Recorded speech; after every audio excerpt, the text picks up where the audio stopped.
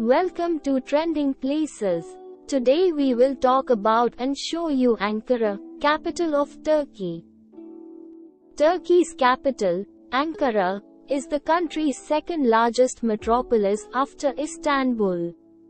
It is renowned as the administrative hub of the country and is situated in the middle of the Anatolian area. Numerous well-preserved Roman and Ottoman artifacts can be found all over the city. Ankara is a massive metropolis that at first impression resembles a concrete jungle. But for those who are ready to go a little deeper, it has a lot to give. There are numerous historical sites, museums, and mosques there. Additionally, it is a green city with lots of parks and open areas. Ankara Castle, an ancient stronghold on a high hill overlooking Ankara, is the city's main attraction. Ankara is a sizable metropolis with numerous neighborhoods. The majority of the city's attractions are situated along the length of Ataturk Boulevard, which connects the city's north and south.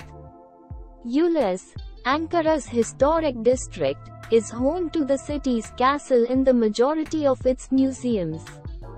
Another well-liked location is Kavaklida, sometimes referred to as the Tunali district. It has more restaurants, cafes, and pubs and is more cosmopolitan.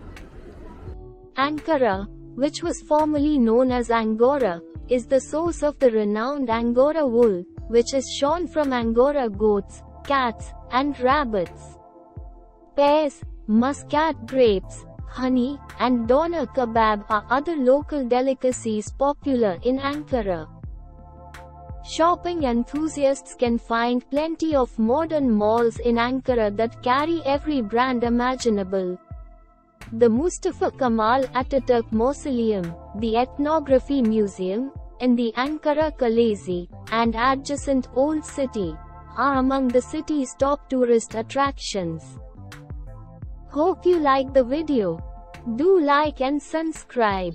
Keep watching to see more of Ankara famous places.